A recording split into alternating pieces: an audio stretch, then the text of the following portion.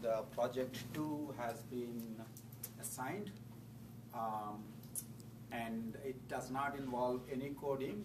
It involves writing uh, planning domain. Um, you know, so the existing planners actually remember we had blocks world domain for which we wrote the action names, the preconditions, and effects. And uh, it turns out that you can um, uh, write these in certain syntax called PDDL syntax, um, you know, for any of the domains. And um, what we are asking you to do essentially is to write the actions for a particular domain involving robot going from room to room. Okay, and then try out whether your domain model works or not by feeding it to a planner that we supply to you. Okay, uh, so all the instructions are here, um, and um, I believe Karthik is uh, also trying to post a small uh, video.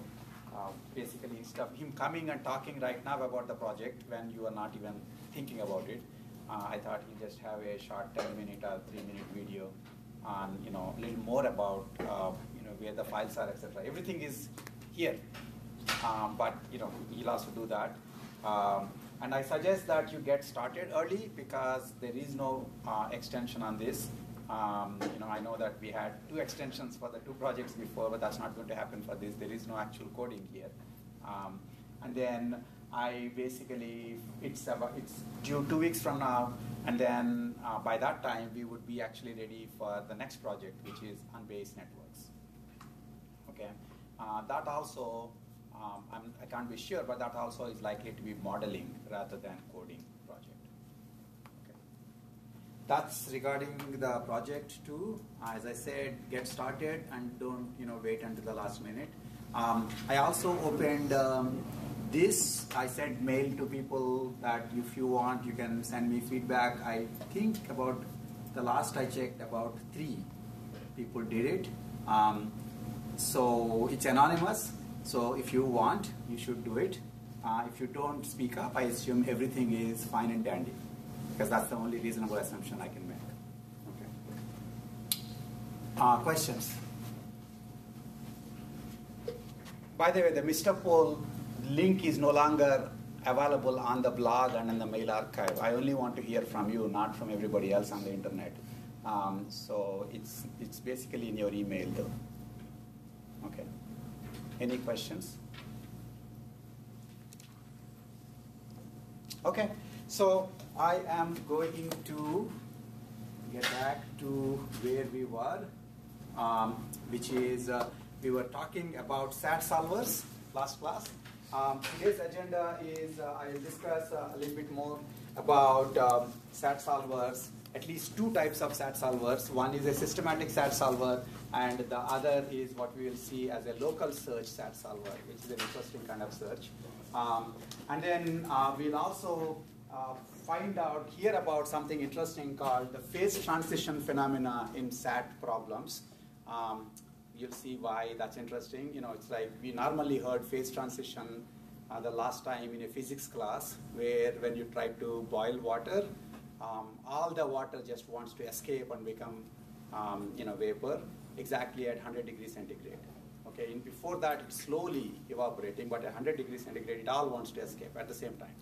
And uh, we will talk about a phase transition phenomena in SAT problems, which is kind of interesting.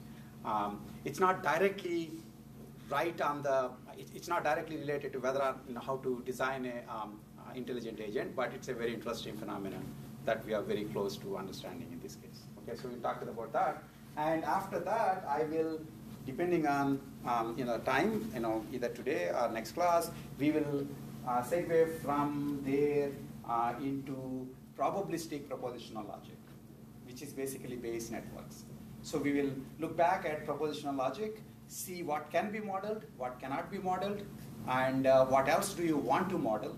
You know, what kinds of you know, questions would you like to ask that are not answerable in the propositional logic, and then uh, uh, slowly go from there to probabilistic logic, which is basically Bayes networks. Okay, so that's the agenda. And uh, so last class, when we were talking about SAT solvers, we agreed that First of all, all the problems, if you're doing systematic search, if you're searching for um, an assignment that satisfies all the clauses, right? That's the whole point of, so I have been, I've given you these clauses, and you have to tell me assignments on P, Q, R, S, T, U, um, true, false assignments for them, such that all of these clauses are satisfied. Okay, and then we notice that that's a search problem because you have to, there are two power n um, if there are n variables, there are 2 power n models. Okay? And then you have to check one after other until you find one which works. Right? That's the idea. Now, if it's an easy SAT problem, hopefully, um, actually it's interesting. If it's an easy SAT problem, hopefully there are many, many solutions. So the very first model you pick would be a model. Okay, but you know you can't depend on that, so you actually search systematically through all the models. And the way to say search systematically is uh, pick a variable, consider true value one branch, false value another branch. In the true value branch, let's say, in, in pick one of those branches and then pick another variable, consider its valuations, and so on. Okay, so you have a search tree. The question was, should we do depth first or breadth first? And we convince ourselves that nothing other than depth first makes any sense. Why? because all the solutions are at the leaf level. Okay, and they're all equally good. Those are the two important issues.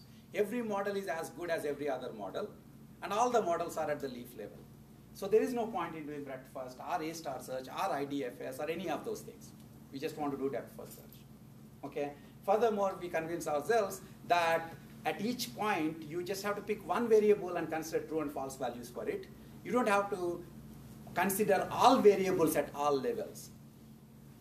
So you don't have to backtrack. You don't have to second guess. Maybe I should have considered branching on Q here, not P. Which means in search terminology, you have to come back and branch on Q. If everything fails because you started with P, okay, then you can't come back here and branch on Q again separately because it will still fail.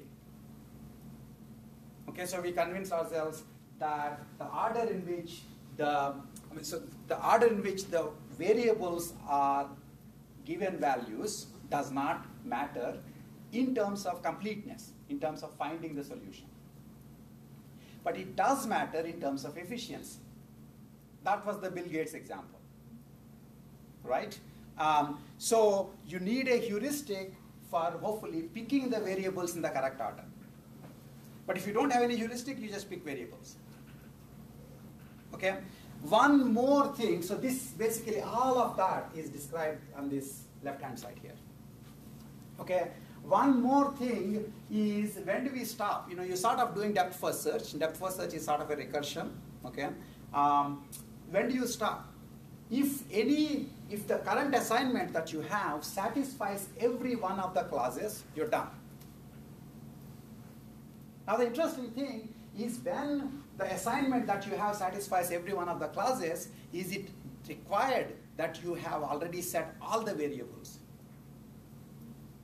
Suppose I have uh, the following set of clauses, PST, PQM, PJR, PWM, PSM, okay?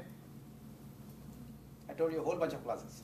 Okay, um, now if I say P equal to true, all clauses are satisfied. I'm done. So my model is P equal to true. Now, didn't I say that models should tell you the valuations for each of the variables? Yes, they should. But in this case, you don't care what the other guy's values are. Do you see what I'm saying? You have essentially too many solutions. Any solution, where, any model where P equal to true is a solution. You understand what I'm saying? So that does not change the fact that all solutions are at the leaf level. It is just that an entire subtree is full of solutions. That's okay. You would take it. You know, if I give you that kind of easy problems, you take it. Okay. So in the search algorithm, you keep going until you have an assignment. You know, remember the assignment starts with null and keeps adding one variable and its value, next variable and its value, next variable and its value. Okay. At any time, if all the clauses are satisfied, you're done. Point one. Okay? Point two is if at any time one of the clauses is violated, then what do you do? What? Stop. Because once a clause is violated, whatever you do, it will never get unviolated. Violation is forever. You see what I'm saying? So if a clause is dead, that means this partial assignment already violates this constraint, so extending this assignment doesn't help. It's dead. The whole point of search, and we talked about it when we were talking about regression, one very important point of search is not to expand dead guys. If you expand dead nodes, they will you know, lead to more and more dead nodes. And you will be wasting a lot of time. Right? Okay? So one very important thing is if a partial assignment violates a clause, then just backtrack. Then essentially you go up one level and look for the other valuation for the variable. You see that? So this, this already gives you a simple backtracking search. A simple backtracking search for SAT, algorithms. Okay? And so that's that algorithm. This is basically in your textbook, except I kind of pointed out two things, okay, in between. And if you remove those two things, it's a very simple backtracking algorithm. And it's a recursive algorithm, okay? It's actually a very famous algorithm. It's called DPLL, um, Davis, Putnam, Logemann, and Loveland procedure. Um, and it's a systematic, it's one of the first very efficient algorithms back in 62, um, you know, around the time I was born. Uh, this was published in JACM which is like the top journal in uh, in, in, computer science. Okay, um, so you notice that the function here basically is calling itself. That's the recursion. Okay, so what are you doing? You're essentially starting DPLL with the set of all the clauses, that a set of symbols yet to be given values, and the current model. So that means notice that each of the symbols, they call them symbols, we call them variables or propositions. They're all the same. Okay? So in the beginning you have null assignment. And so every variable is in this list of symbols here. As you pick a variable, you transfer it into this list and you transfer it with true value ones and false value ones. Right? That's the recursion that goes on. Okay, so I call DPLL with clauses, symbols, and empty list. Okay, and then here is the main body. Okay, and the main body is saying, uh, notice that this can be, you can, you could have come through, come to it at any time, any point during the search. And so you have some symbols that have yet to be assigned, some symbols that have already been assigned. That's your partial model. And the ones that you've been assigned, you know what their values are according to the model. So model is saying P equal to true, Q equal to false. Okay, now you're trying to decide whether to go forward, whether to say I'm done, or whether to, um, you know, whether to say I died, or whether to say I'm done, or go forward by recursing further. So those are the three clauses here. First, if every clause in the clauses is true in the current model, okay, then you're done. Even if in fact symbols is not empty, that means there's still lots and lots of symbols to be given values, you're done. Because the work that you've done already satisfied all the clauses. That's like that, you know, every clause starts with P. So if you set P equal to true, all clauses become satisfied. Right? And then similarly, if some clause in clauses is false in model, then return false. So this is every clause. this is some clause. So if you are done, if this satisfies, then you come out of the recursion and return true. That means I found a model. And the model you actually found is this model. Okay? And if any of the clauses is violated, then you cut out of this recursion and say, I fail. And then whoever called you then should realize that they should call the other branch now. Right? Okay, so return false.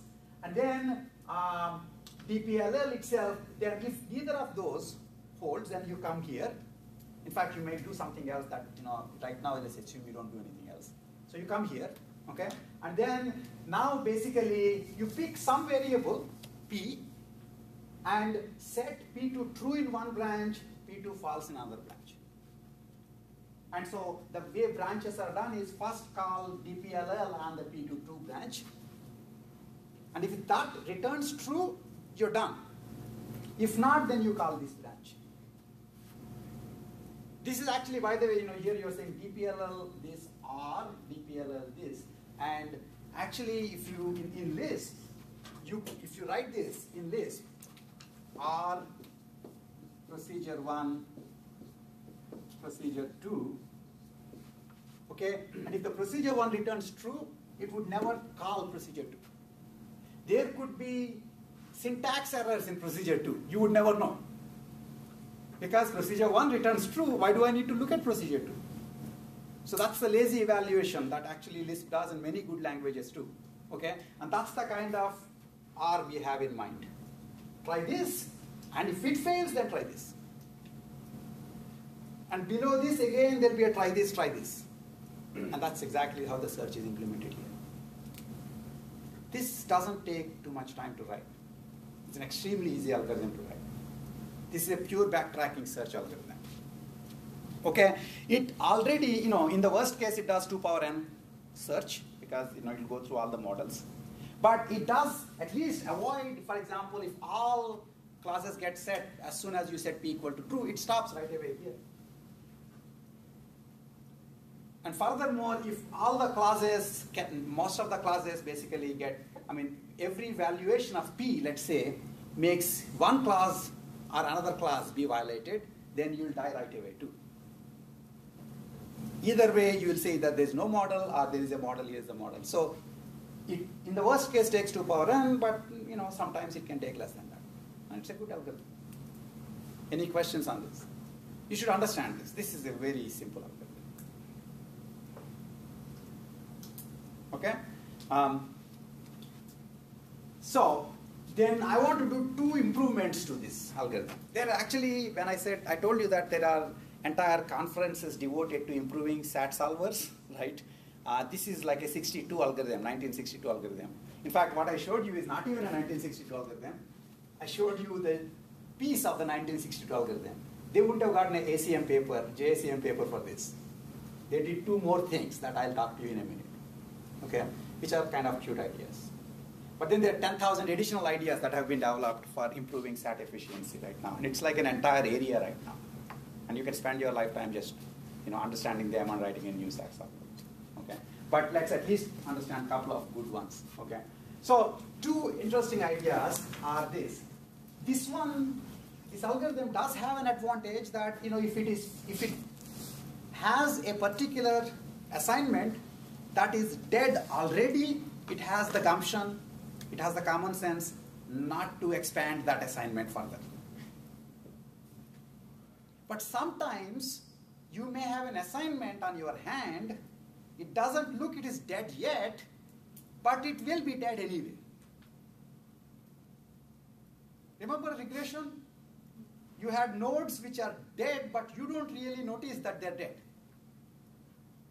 and you would be wasting your time expanding, expanding, expanding. Right? That can happen in SAT too. Okay, here is a classic example.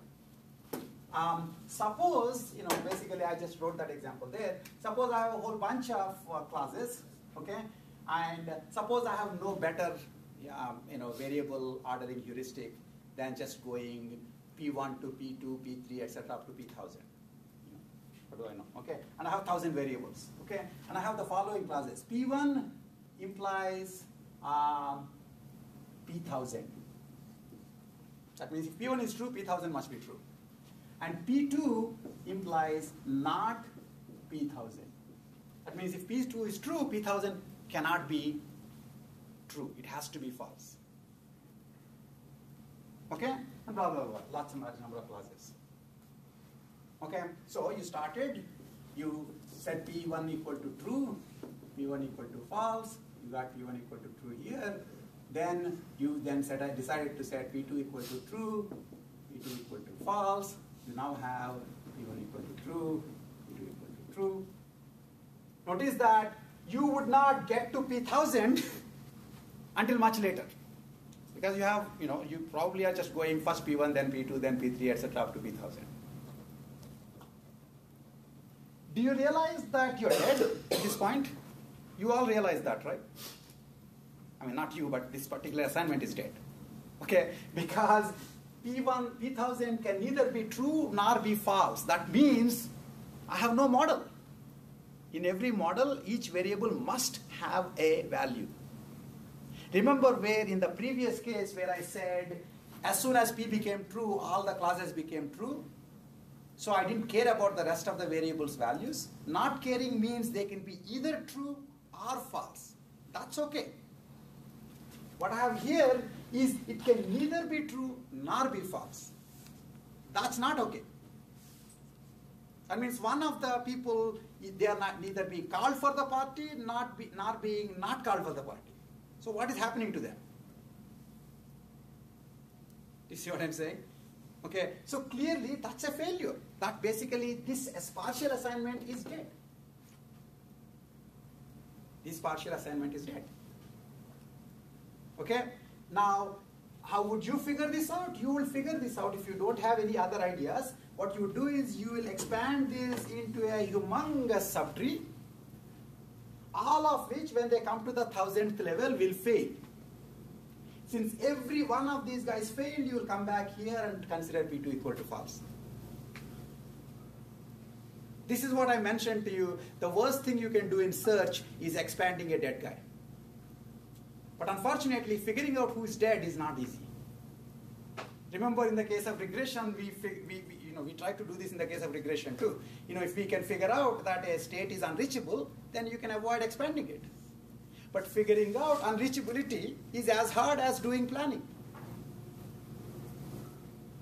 And similarly here, figuring out that this cannot lead to any model, this partial assignment cannot lead to any model, is basically saying take this entire theory, add two more formulas, P1 and P2, and show that this has no model.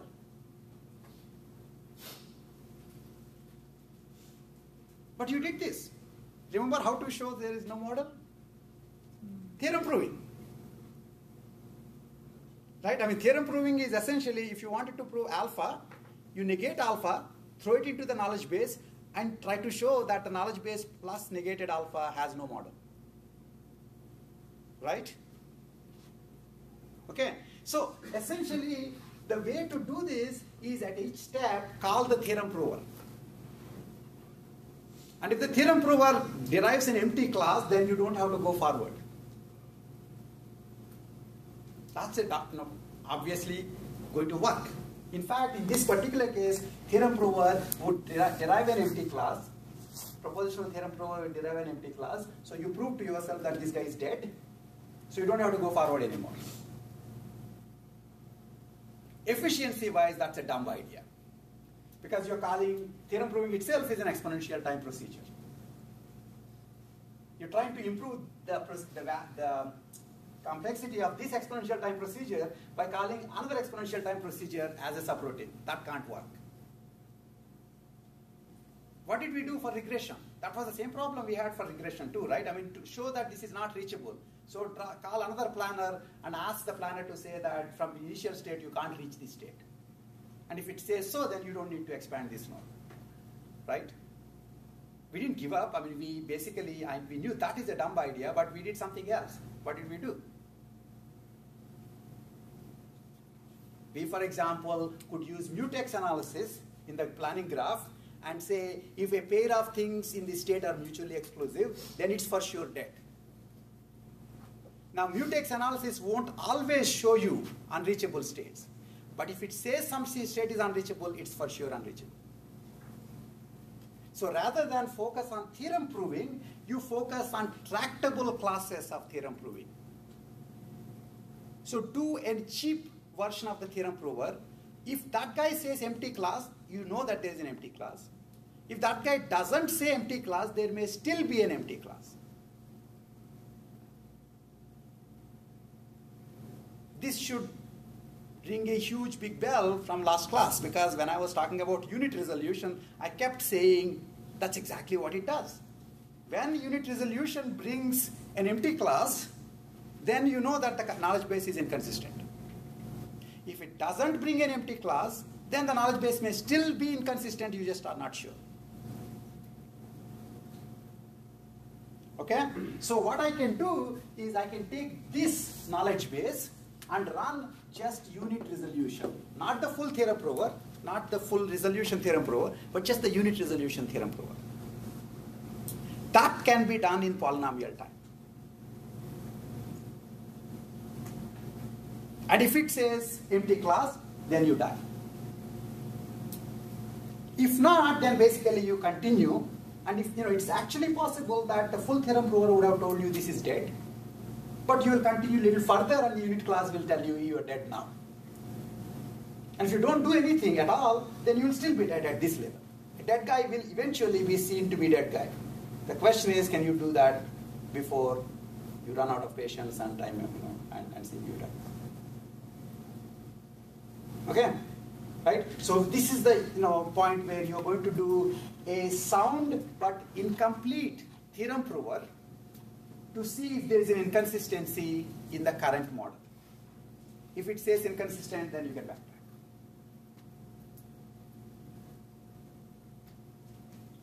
Okay, now, so basically I'm now going to be doing, so remember, we started talking about theorem proving and said theorem proving is nothing but using satisfiability solver and showing that there is no model.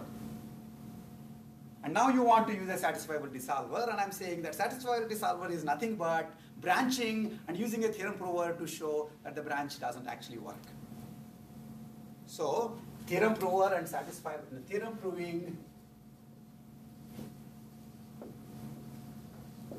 and model finding are sort of, and I don't know how to draw this. And this is theorem proving, this is model finding. Yin and yang. You know, at each, each level, you can intersperse them. That's a very deep idea. I mean, it's one of those things that, you know, you will keep seeing it. You know, you can either, most times, you will either branch or say that the current branch is not worth going forward on.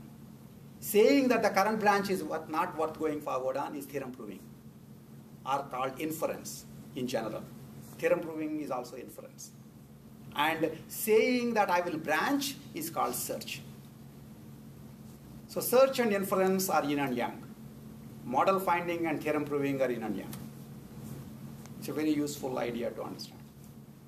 But its practical implication here is that while doing satisfiability solving, you now start using unit resolution, which you understood as part of theorem proving. Now you can see there is no correct order to present theorem proving and model finding because they are interspersed. That's why I did mention model finding a little bit while talking about theorem proving, and I'm mentioning theorem proving a little bit while talking again about model finding. They are interspersed. Okay? Now, if you understand that idea, if you understand that unit resolution is actually a good thing to, you know, any actual tractable resolution can be used to, you know, to in, in some polynomial time find an empty clause, in which case you don't have to go forward on that node. Okay? Um, it actually turns out that what GraphPlan does in mutex propagation is a form of tractable resolution you know, we don't need to get into the exact details, but it's a particular form of tractable resolution. It too has the property that when it says something is inconsistent, it is inconsistent. But if it, when it says it, does, it doesn't say something is inconsistent, it may still be inconsistent.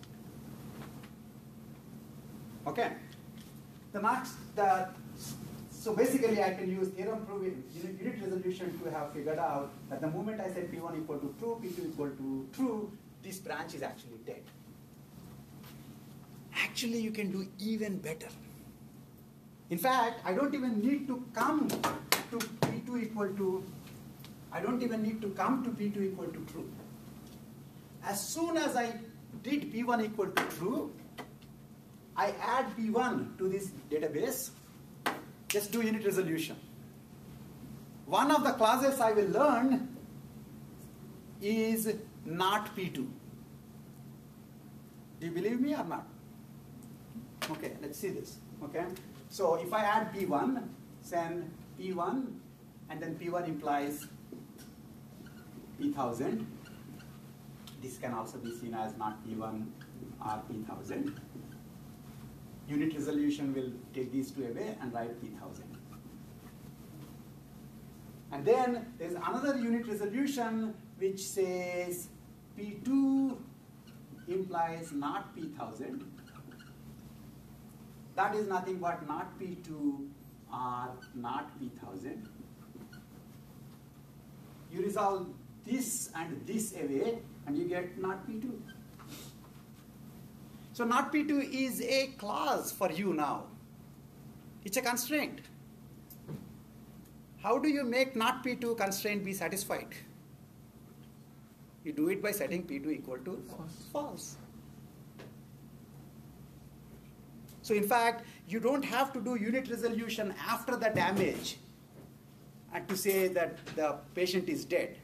But you can use unit resolution to say as soon as you did P1 equal to true, you are now forced to take P2 equal to false. Beautiful. Right? That's basically what Davis-Putnam procedure does.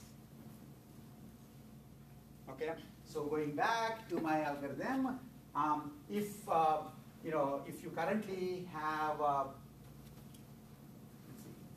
okay, a, okay, this part. Don't look at this. Look at it from here onwards. Uh, find unit clause in the clauses model. So the current clauses, take the current clauses and the model. The model is important because model is giving you these additional constraints. So that new database is really the model plus the current, plus the old clauses, original clauses. Okay? And you run unit resolution. When you run unit resolution, you can get smaller and smaller clauses, but when you get unit clauses, that's great. Because that means you're forcing assignments.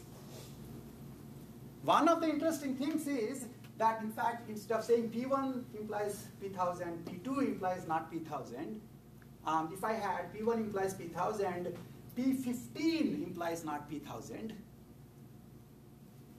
unit resolution now would have said as soon as you pick P1 equal to true, the next thing you should do is go ahead and put P15 equal to false, which would have come to much later. In some sense, it's telling you which variables to pick. The ones that are forced, you may as well pick. Do you see what I'm saying? The ones which are forced, you may as well pick. So that's exactly what this guy is doing. You know, find unit clauses, and for every unit clause, essentially call DPLL with that clause set to that value. So it's essentially now there are parts where DPLL is no longer branching because the other branch doesn't make any sense. That cuts down a whole bunch of search. Now you do spend time doing finding unit clauses, a polynomial amount of time. But not surprisingly, you save a lot more time because you are catching failures before they happen. Okay?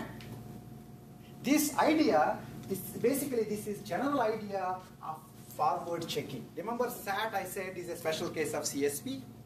where CSP uh, has variables with multiple values, not just Boolean values. Not just true and false, but you know, you can have a variable called color, which can be red, blue, orange, and green, and so on. Okay, so the general notion here, what we are doing is, you're checking ahead based on your current decisions. You made some current decisions. You're checking ahead to see whether the set of current decisions forces you into certain corners. If so, you might as well go ahead and take them into account. Do you see what I'm saying? So, for example, you know, you have, uh, you know, you woke up and you, for example, um, did not actually submit something which has a deadline today and its result will come 10 days later. You didn't submit it today. You already know that you won't know anything about the result. So you might as well now start taking that into account rather than be freshly surprised 10 days later that nobody told me what happened to my application. You knew. You didn't submit the application. So you know you just forward checked and put that as part of your reasoning.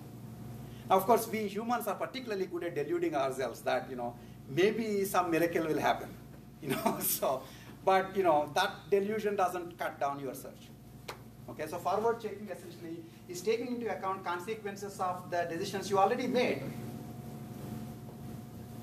eh, You know, ahead of time rather than wait until you know the dark bitter end. You see what I'm saying? Okay. Um, then the other interesting idea, which actually Davis-Putnam procedure doesn't do, but I mentioned last class as a very good idea, is variable ordering. Because normally you can pick any order, variables in any order, but some orders are more efficient than others. Now, Davis-Putnam procedure does have an idea. If a variable is forced, then it will be picked right away. So it does have something to say about which variables to pick.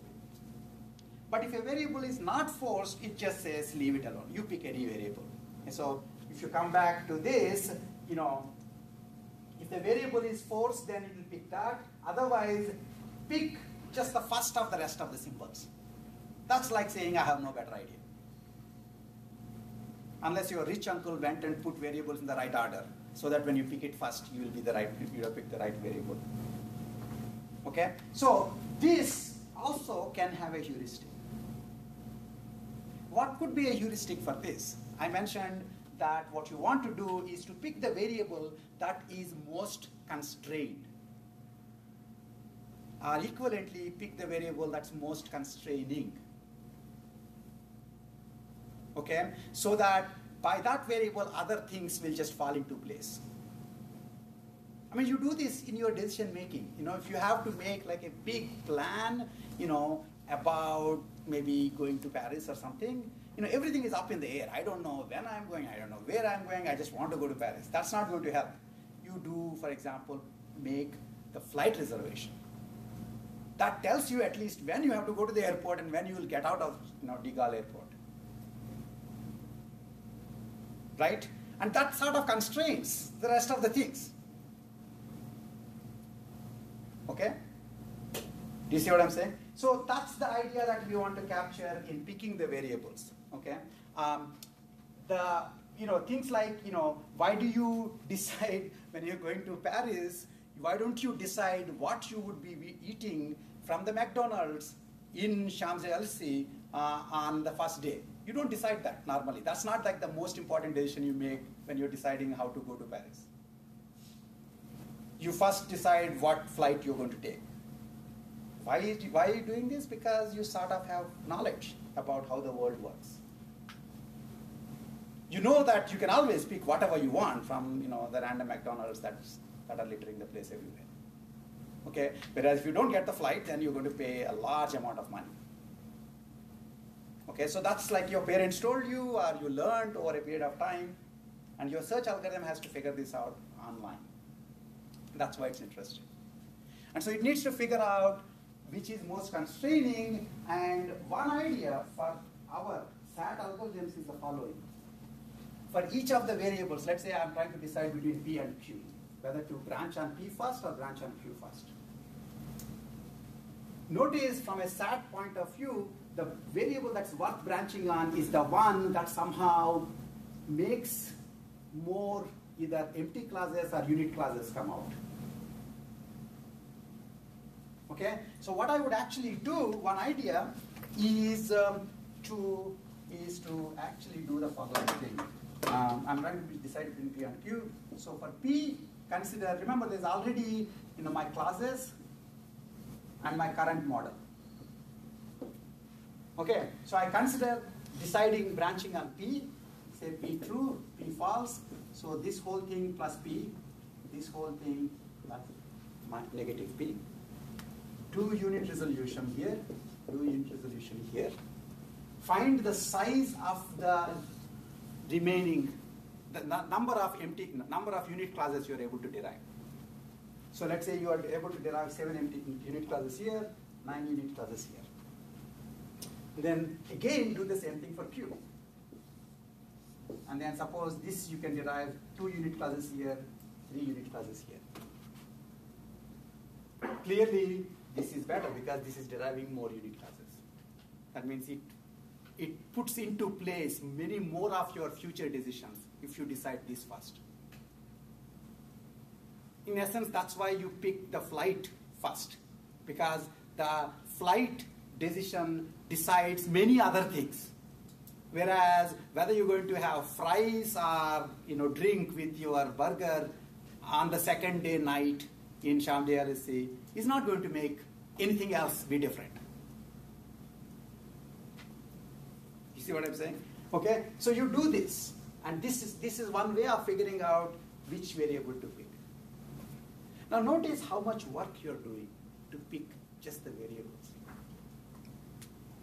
This is another of the examples where nobody in their right mind would consider doing this because they would think this is too much work to decide what variable to pick. And the final solution, the final algorithm that uses that kind of an idea cannot possibly be fast. Right? This is the reason why in planning people never even considered doing costly heuristics in the beginning. They would just assume those costly heuristics are so costly that they can't possibly do well for the entire planning because the heuristic cost plus search cost can't possibly be good. Whereas if you take set difference, maybe you'll do much better. And then we now know, of course, because you have, you know, you are fortunate enough to be alive now as against 20, 30 years back.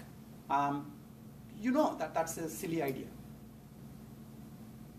And you actually have to try it, be sure. And not surprisingly, this idea was not tried um, at the time of DPLL because they would never even consider that to be working as, as a possible thing that is worth shaking because it will not work after all. And remember, I said your biases ultimately are more worrisome than anything else because the biases stop you from trying something. Okay, so this was 62, DPLL was 62. And this idea that I mentioned is, has been tried in a SAT solver called SATZ in 1997. 62 to 97. That's what collective intelligence finally took to try out this because it doesn't look like an idea that's worth trying. And when they tried, I mean, given that I took all this time to explain it to you, huh, when they tried, they found SATZ beats the heck out of not doing SATZ. Okay, one more idea where spending, again, that's the, the picture is, you know, the, the beautiful picture that we have of uh, is the cost of uh, heuristic computation, the cost of search. The real issue is where is the minimum. And don't trust your intuitions always. Because intuitions, especially because of the laziness, would say, I'm pretty sure, or so I hope that the heuristic computation should be cheap. I should be, I should be able to write the heuristic in two lines code. In the SATZ, the heuristic computation takes most of the time really. And it actually needs little more you know, code than the DPL procedure. And yet, that's what helps DPL. Okay? So that's the idea. And if you understood this, this is the variable ordering heuristic. And you know, for normal CSP, any general CSP, most constrained first variable is a great idea. And that can be in, in normal CSP, it's sort of interpreted in terms of the variable that has the least number of feasible values left is picked first. That's why you pick Bill Gates over me, because you assume Bill Gates has very few feasible values left, and so you pick him first to decide, ask him, you know, when, whether or not he's available, and then you ask me. Okay, but the same thing is interpreted in SAT in this more complex way because in SAT, really, a variable only has two values left, one value left, or zero values left. If it's one value left, you will just actually use it directly. If it is zero values left, you just declare failure. If it's two values left, that's everybody else.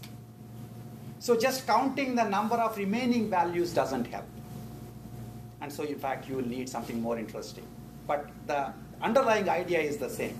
You know, this variable, the variable that leads to many more cascade of um, unit clauses is essentially a most constraining variable. The taking flight decision is the most constraining one because it constrains everything else. Whereas having fries with your burger decision is not as constraining because it doesn't seem to constrain anything else. And you do the most constraining ones first. Unless you are in delusions and you want to just keep the inevitable as far as possible so that you can go know, forward somewhere. Okay?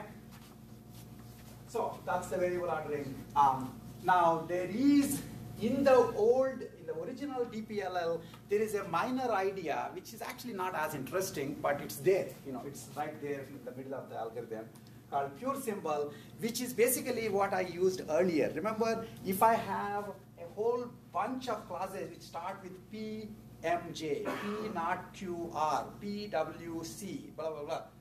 In all of them, P is true. So set P true, you're done. Are there more models to this theory? Yeah, maybe. But one model is P true. So if in the remaining set of clauses, a variable is occurring with only one polarity, polarity being positive or negative, then just commit to that polarity. And by doing that, you don't lose completeness. If there is a model at all, there will also be a model with that variable taking that polarity. Okay, so that is the pure symbol idea, pure, pure literal elimination idea. So what they're saying is uh, you find a pure symbol, that means in the remaining clauses, if there is any variable that only has the same polarity left, okay, then set that to that value. That's also a forced set. So here is one force set, here is another force set. And if you can't force set any of the variables, then you flip a coin and pick one of the remaining. That's DPLL procedure. Does very well in practice. Um, here is a, uh, an example of this whole thing in action. Uh, I'm going to go through it quickly, but you should look at it to make sure that you understand. Okay? Uh, basically, this is a trace of DPLL procedure. Okay, uh, this is our old example, the one that I've been showing you around all along. So, suppose I pick P, and I set P equal to true. The moment I set P equal to true, anytime I make a decision, I assume I will either check for unit clauses or do pure literal elimination. Okay, when P equal to true, I won't do, I mean, I would only show the ones that will you know, work, but your program itself will try both steps at each point. Okay. So when you set p equal to true, of course, this clause becomes satisfied, right? And if I do unit propagation, since p equal to true, q must become true. Right? Uh, I'm sorry, by the way, so p is true. So the step here basically is p is true and PSU is satisfied, I remove, and then p and not pq implies q is derived by the unit propagation, and so you must next set q equal to true. Okay? And then now not PQ satisfied because Q has been set, so not PQ is now satisfied, so you can remove that from consideration. Remember, this is one branch. I'm just coming down one branch. One of the nice things is in, in as you come down one branch, the constraints keep getting added. When you backtrack, some constraints get removed, and then new constraints get added. Okay. In this example, actually, just a series of decisions will lead you.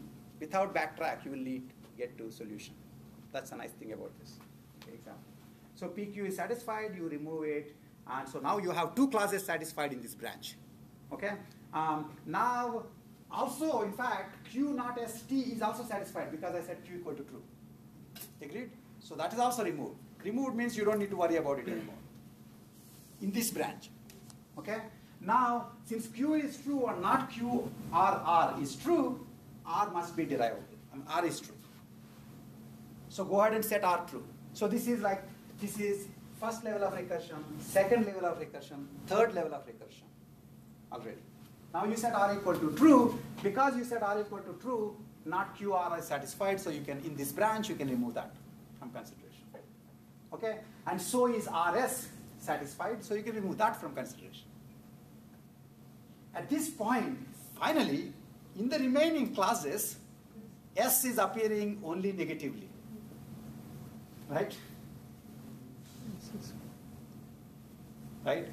Okay, so I can go ahead and set not s equal to true or s equal to false. Okay, s equal to false. I'm done. This is a backtrack free. I mean, you won't be this lucky all the time, but it shows you the power of the ideas that we put together. Something that has those many clauses, you just had backtrack free series, you know, you went to the solution. By the way, the word backtrack free is, is a good thing to know. If anybody says the search can be done backtrack free, that means essentially it's, it's not search. The last time I talked about backtrack free search is when? No. A star does backtrack, of course. I mean, in the sense it does, you know, it, it does go back and forth, you know. No. No. No. What? I- I'm just curious to see, you know, whether people have. but This is like across. first with a single branch. No. You're It's thinking in the wrong chapter. Think planning. What? Yeah. The class that some of you didn't attend. relax plan extraction. In the case of relaxed plan, the reason relaxed plan is easy is because you can pick any supporter for the condition, you will be able to go all the way down. Remember we talked about this. If you want the optimal relaxed plan, then the fact that you can get a plan is not enough. You want to get the cheapest plan. There you have to compare. So that will become NP complete. But finding a relaxed plan can be done linear time basically because you can do backtrack free all the way down. Backtrack free is a good thing. Part of the jargon that you want to know. Okay? So in this case, SAT is normally not backtrack free. In this particular example, DPLL went backtrack free to the solution. Nice. Means you put together a set of good ideas. Okay? You learned some really neat points about CSP if you understood this, because you understood about the fact that CSP has finite search tree, that all the solutions are at the bottom, and if a, if a partial solution is dead, you don't need to go forward on it any further. If a partial solution satisfies all the constraints, then the rest of the guy's values, it doesn't matter what you pick. Okay, and if a partial solution can be proved to be dead using any forward checking procedures, any limited inference procedures, then that's good. And you want to pick variables to assign uh, with most constrained variable first. If you understand this, this is you know heart of CSP, heart of SAT as well as CSP. And these ideas are very useful across you know lots and lots of normal your life situations. You do this all the time without thinking. Okay? Ah. So, and as I said, SATZ picks the variable setting such that the one that is picked leads to the most unit resolutions. And that's what I was doing here. Count the number of unit clauses. Okay, that looked like a pretty complex algorithm, right? I mean, first of all, I, there's too much build-up, and then there was, you know, there's a normal uh, idea, and then there's a extra idea, and so on. You know, extra idea, you know, forward checking and uh, dynamic variable ordering. I will now tell you an idea that you can, uh, yeah, an idea that you can teach um, your uh, first grade nephew or niece. Okay? And it actually does better sometimes. Um, you know, and that idea is as simple as the following. Again, consider this, right? Look, you're looking for, you're looking for models, right? Guess a model. Just guess one, complete assignment. Okay? That's for example, assign, let's assume, let's guess that all the variables are equal to false. That's my mod, my assignment. And check if all the clauses are satisfied. If you're one of the luckiest dudes alive, your guess would be right. And you say, I'm. Okay. Most likely you won't be, you know, that lucky. So you would find some clauses are not satisfied. Okay? If it's none of the clauses are satisfied, then it's a solution already. Then some clauses are not satisfied. Now, so that means your guess is not good. you need to tweak something. So, for example, you come to me and say, here is my solution. I say, wrong. Okay, then I say, change this part. Is it right? I say, wrong. Change this part. Is it right? I say, wrong. That's what we do. Okay? How do you write paper? I mean, how do you write assign, you know, the term papers? You know, uh, you never search systematically in the space of all good term papers and pick the optimal term paper. If you did, you never wrote a term paper. Right? What do you do? You make a term paper, look at it, and say, oh, the word seems to be putting some things under red, so let's fix those. And then something it's putting in green, let's put fix those two. Let's act as if we read it ourselves once, make some more changes, and say, looks good. You know, put a plastic cover and give it to the teacher. What did you do? You didn't think in like, you know, first let's figure out what should be the organization, etc. You wrote an entire term paper and tweaked it for a while and then gave it to me. I'm going to do that now.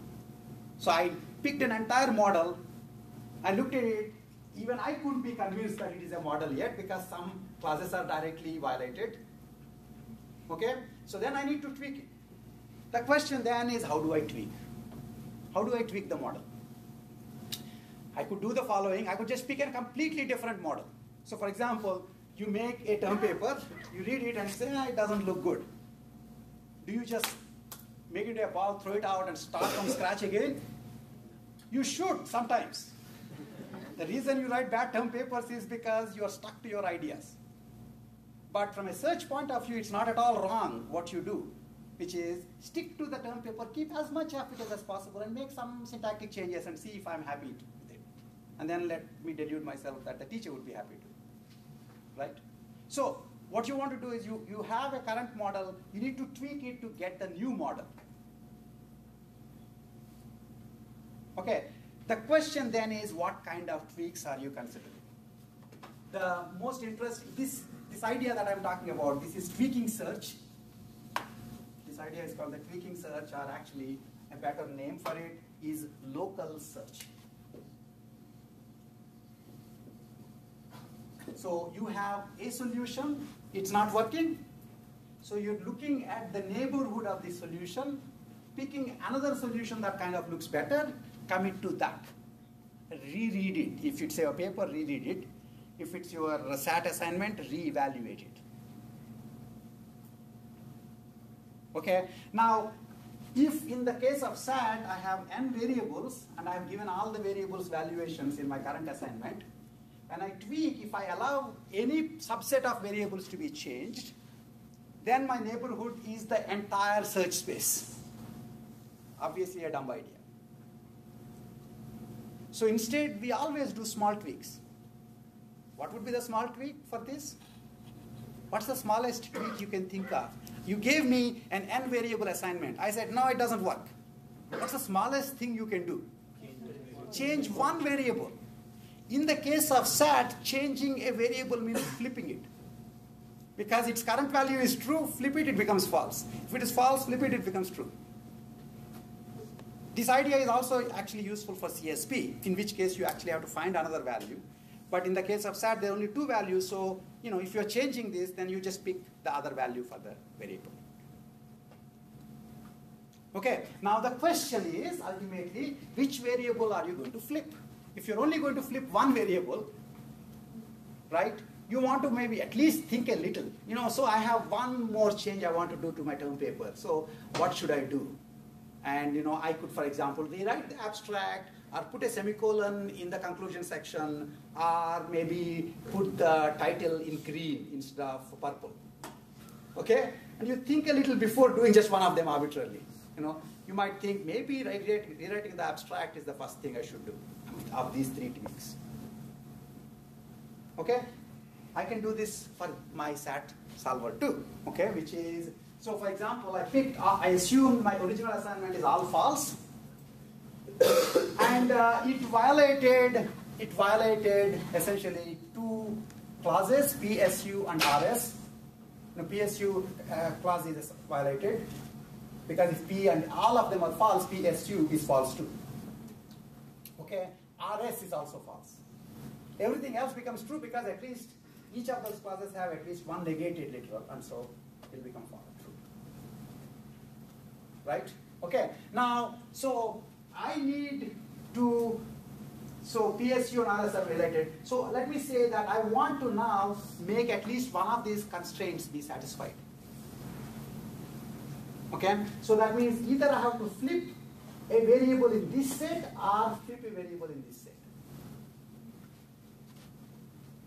Okay, suppose I arbitrarily decided that I will satisfy this constraint first, RS. I still have an option. Do I flip R or flip S? Here I will do some intelligent thinking. I'll consider flipping R and see how many clauses will now be violated. And I'll consider flipping S and I'll see how many clauses will be violated. Whichever leads to fewer clauses being violated is what I will pick. This idea is also called, apart from being called local search, it's also called hill climbing.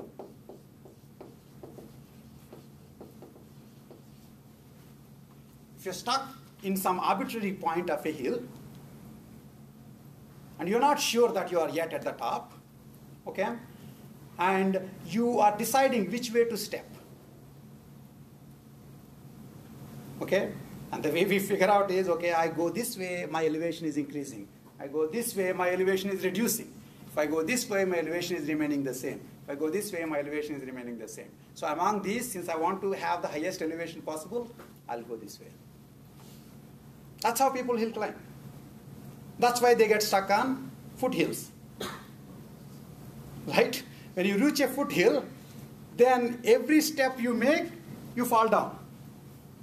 And so you are basically, if you use hill climbing algorithm to reach Mount Whitney, for example, won't work because Mount Whitney is the tallest peak in the continental United States, but it's like barely taller than everything else around it. And hill climbing will get you to one of those guys.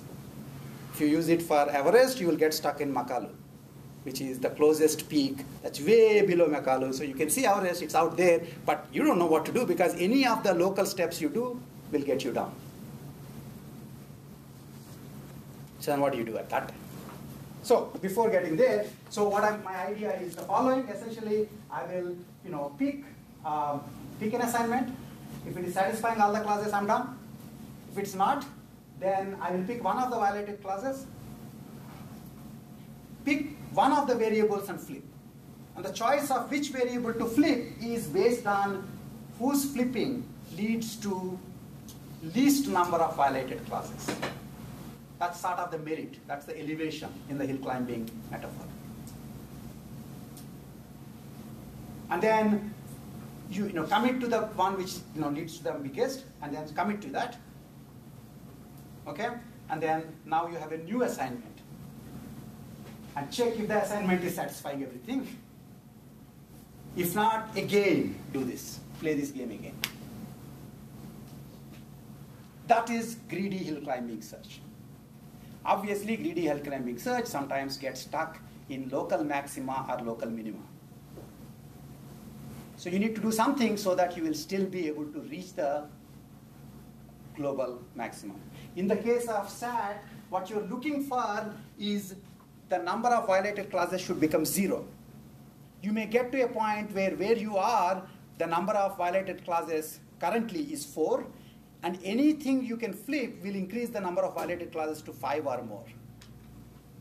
Then you will think, what's the point in flipping? This is as better, as good as it gets. I know it's not a great term paper, but anything I touch seems to make it worse. So at least get me some reasonable partial credit. Submit this. But if you have time, what do you do? You throw away this term paper, start afresh. You magically restart. As it goes with your term paper, so it goes with your search. Okay, so if you do, so the basic point is hill climbing is a good idea because it follows the local gradients in the search space. Local gradients in the search space. But local gradients may not necessarily get you to the global optimum. Okay? Right? So, since you want to get to global optimum with higher probability, one idea is whenever you get stuck, whenever you get stuck, restart. So magically pick a completely different assignment randomly and start all over again. If you do that, probabilistically, you have completeness. Okay? An interesting variation on that is either you be greedy, greedy, greedy and restart, or don't be so greedy anytime. Okay, what that means is when I have two variables in front of me, flipping this will lead to four, um, you know, so there are two variables in front of me, flipping this will lead to four violated clauses, flipping this will lead to three violated clauses. Don't always deterministically pick this. Use another coin, which comes up heads 90% of the time and tails 10% of the time. If it comes up heads, do the greedy thing. If it comes up tails, do non-greedy thing.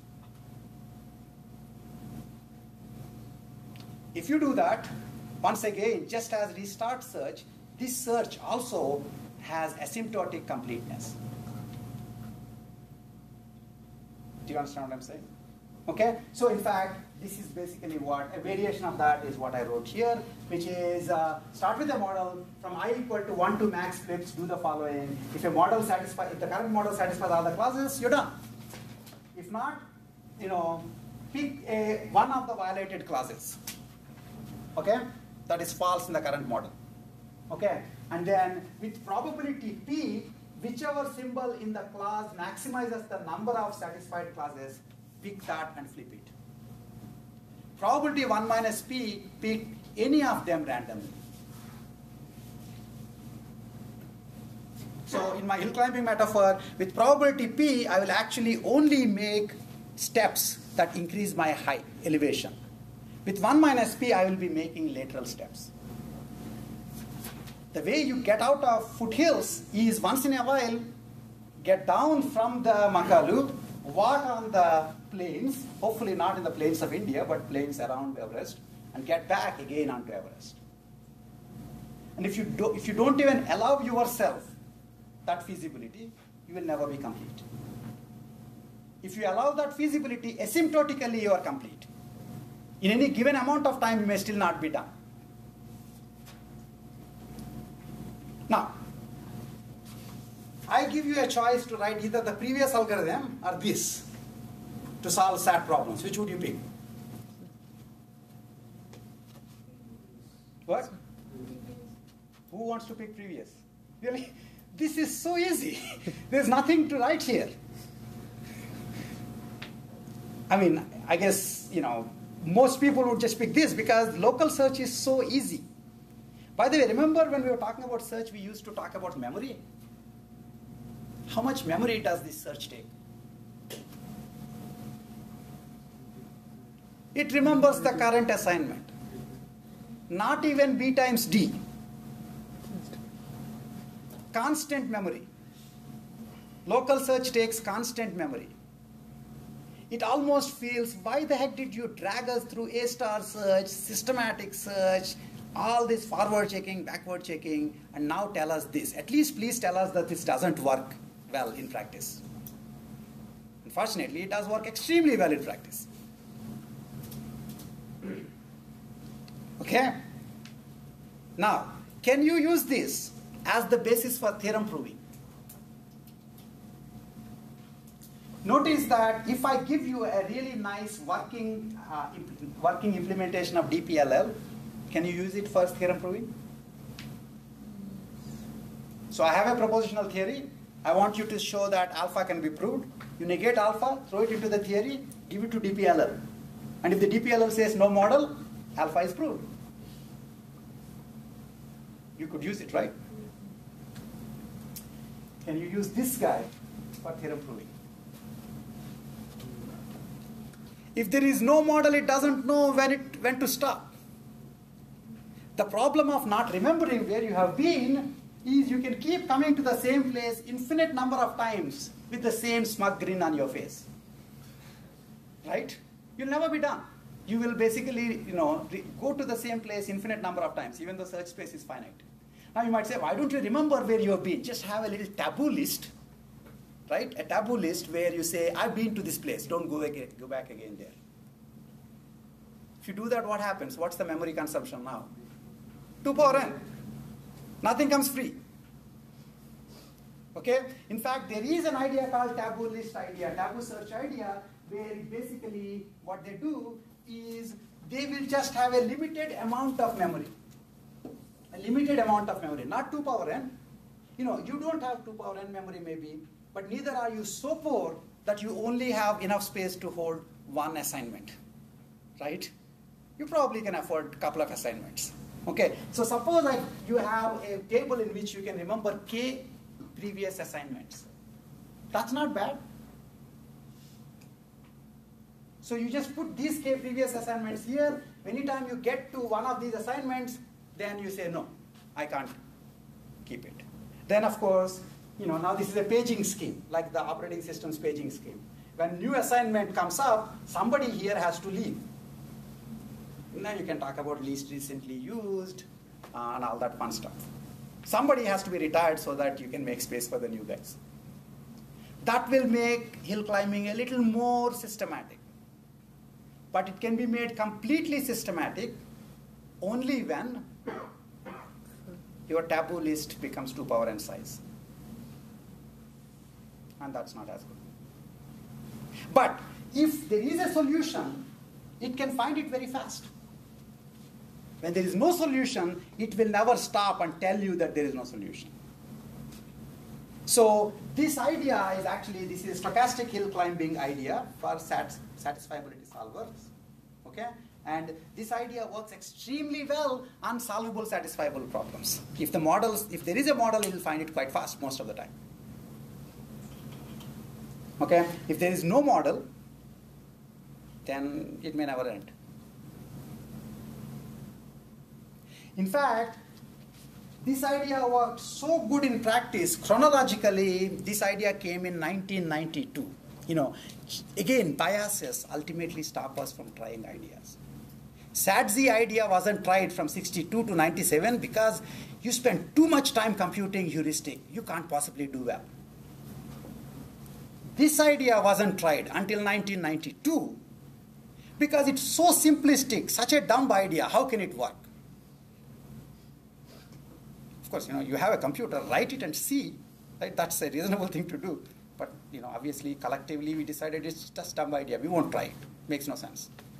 And then in 1992, a bunch of uh, people who had nothing else to do basically tried it and found that they can beat the heck out of all the other SAT solvers at that time for solvable problems. For unsolvable problems, basically, they just have to have a time limit. And if you can't find it in 30 minutes, then assume that it has no solution. But that's actually not true. Okay, um, I'm going to actually take five more minutes. Uh, if you have to leave, please leave. But I, there is one point I want to make about the phase transition here, uh, which is I'm very close to. And then it will be recorded, and if you have to leave, you can watch it later. Um, okay. Um, the GSAT worked so well in practice that people started wondering, are there actually hard SAT problems? Remember, SAT is supposed to be NP complete. That means there should be exponentially hard problems. Okay? And yet, GSAT, this idea was called GSAT. Okay? It was solving any random SAT problem you throw at it very fast. So people started wondering, are there really any hard SAT problems? Okay? And that's where the question is, where are the hard problems? If you randomly generate SAT problems, where are the hard SAT problems? Okay?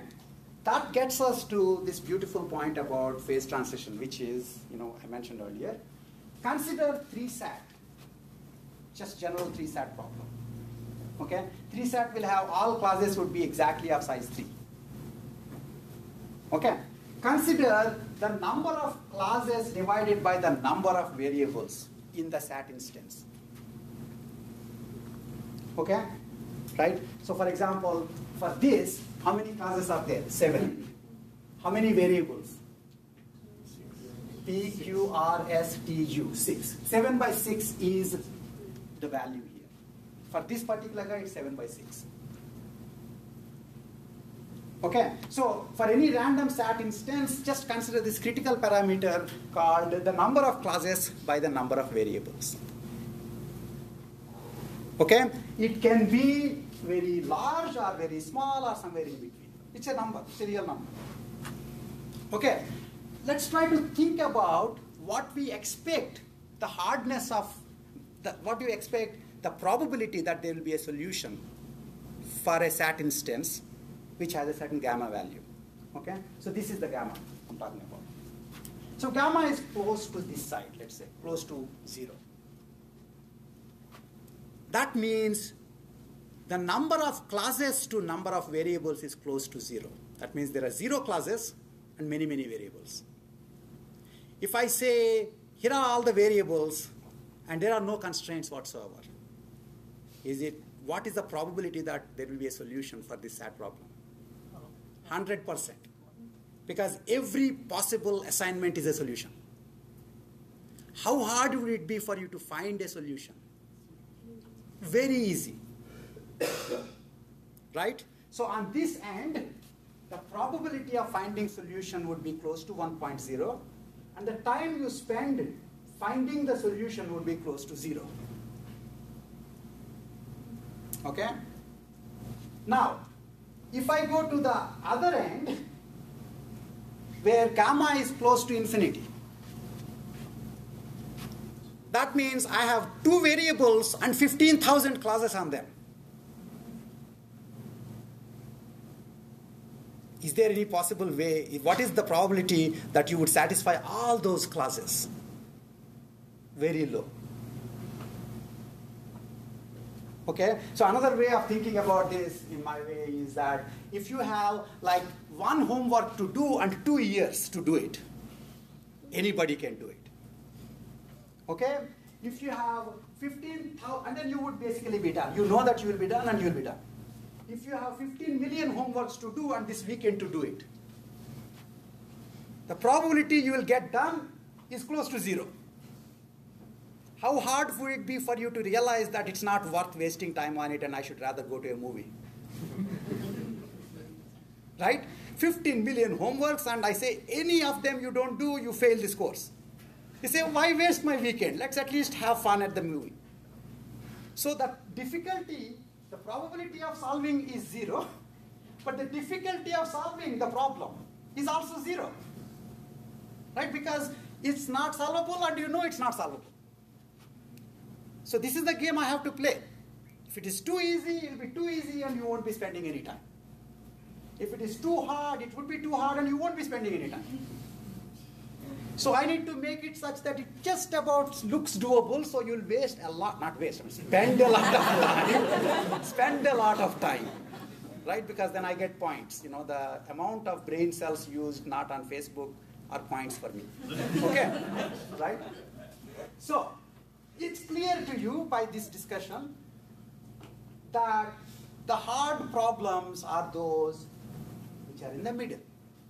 And you, even if you, you know, if you just had common sense, you would have figured out by this that perhaps the probability of satisfaction for a random SAT problem with a certain gamma value starts from 1 and goes to 0 in some nice, slow way. Similarly, the probability, the difficulty of solving it would be cheap here, cheap here, and maybe like a nice little bell curve, some smooth bell curve, because somewhere in the middle it should be hard. If you're surprised at this, you're not a computer science student. Because remember that the less you know about the world, more surprising it is. Right? Oh, you mean you switch this and the light comes on? Wow! You know, that's because you don't know that lights work. You shouldn't be surprised at this. This is just common sense for computer scientists. It's not common sense for your you know, two year old nephew, but not for you. It, it is common sense for you. Now for the surprise. If you actually do this experiment, you generate um, the clauses generate the you know three sat uh, uh, problems randomly, okay, at different gamma values, and plot the probability of satisfying an instance as well as the difficulty of solving it. It looks more like that. So the probability of solving a random instance is close to 1 up until here, close to 0 here, and it falls precipitously here. That's surprising. And not, not surprisingly, the difficulty of solving the problem is close to 0 most of the time. Here it is 0 because any random assignment is a model. Here it is 0 because your unit resolution will give you a, an empty clause right away.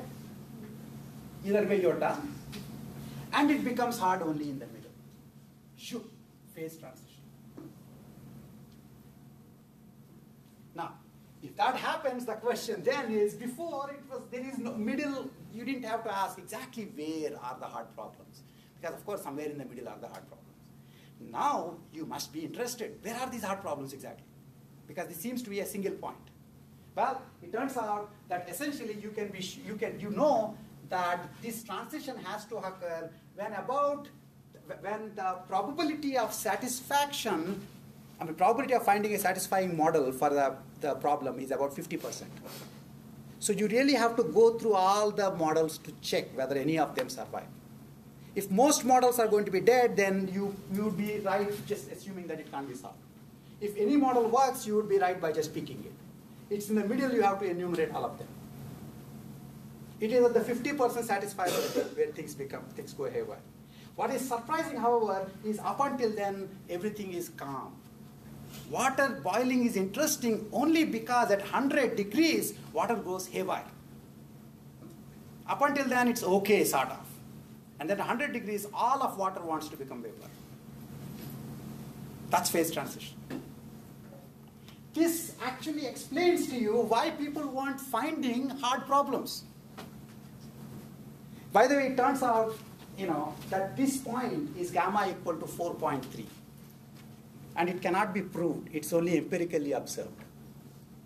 And to show you how robust that phenomenon is, um, here is a picture. Uh, this, is, this is a plot from somebody's science fair project, where all they did was to implement DPLL with just pure backtracking, no unit resolution no um, pure literal elimination, just simple pure backtracking. So much so that they couldn't solve more than 30 variable instances fast enough. And they still could produce this. Again, as expected, you know, pretty sharp fall, and then around 50% you have the highest amount of time spent. Very robust phenomenon. Okay? You can actually reason about this. You can look at it later on and see, you can establish like an upper bound as to where basically you can at least figure out, you know that at the 50% probability of satisfaction, what happens interestingly is in, in most of this area, any of the models are solutions. There are about 2 power n solutions in this region there are how many solutions in this region? Zero.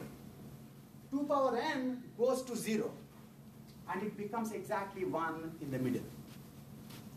So if you compute what this particular slide does is it essentially makes a whole bunch of independence assumptions, uses elementary probability theory to compute the probability of having exactly one solution.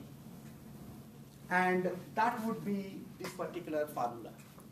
And if you plug k equal to 3, um, you'll get 5.19 as the gamma. That is the upper bound. Okay, it still doesn't tell you that things are supposed to go phase transition. It tells you if there is a phase transition, where the phase transition is going to be.